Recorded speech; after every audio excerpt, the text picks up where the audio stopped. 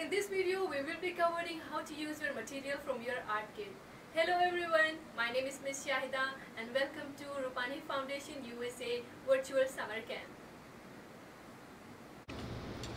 So with your art kit, we will be making yarn stars. In order to make them, you will need some colorful yarn, two wooden dowels. To make the yarn star, we first put one dowel on top of another like this to create a cross. After you have crossed them, you will grab your yarn and begin to wrap it around the center where the two dowels meet in order to keep them in a place. Then, once you feel they are steady, you will begin to wrap your yarn around the dowel once, then make your yarn way to the next dowel and wrap then next and wrap and just keep going.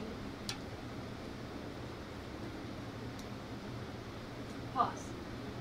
You have to switch that and bring the other one. Mm-hmm. Leave.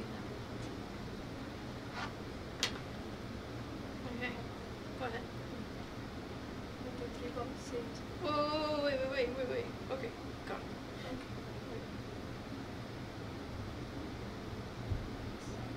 You will notice that after a while of wrapping, you have created a beautiful diamond-shaped pattern.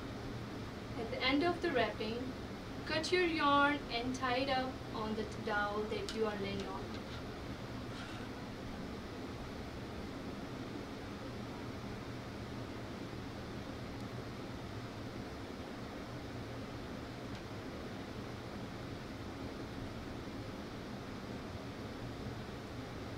And there have it, your very own yarn star.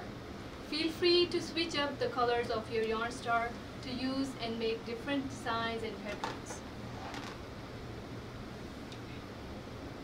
Just put like still.